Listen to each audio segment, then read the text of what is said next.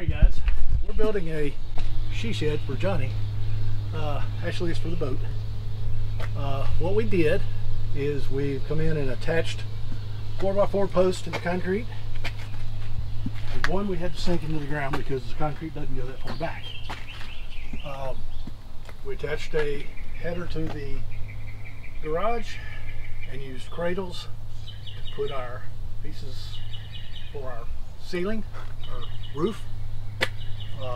We're gonna take eventually and put some uh, 45 degree angle mounts up here because it's got a little bit of move to it this way and I want to do away with that if we possibly can.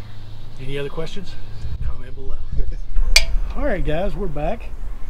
We've put up a gutter on the outside to keep the water from running off over into the neighbor's yard. We put up gutter guard across the top of it. Had to notch it to fit the uh, gutters.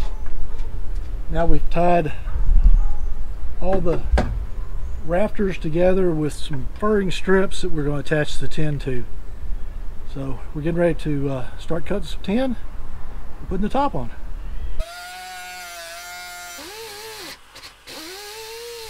Back again. We're about to finish up the roof. I'm out of breath.